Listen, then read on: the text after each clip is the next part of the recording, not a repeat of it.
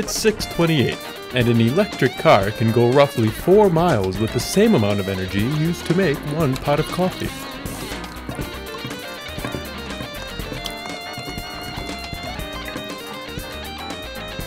The consequences from using fossil fuels aren't just negatively affecting our economy.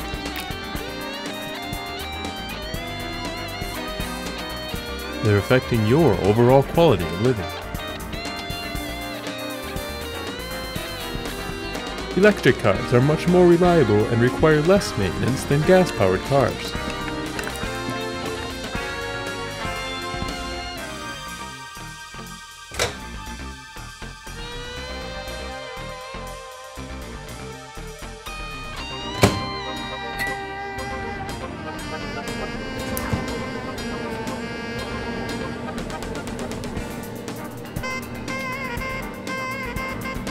Health concerns around the world caused by pollution are being overlooked.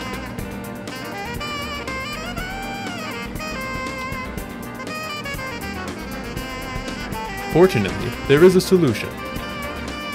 Because if nothing else in your home runs on gasoline, why should your car? A message brought to you by Plug in America and Cheap Productions, Inc.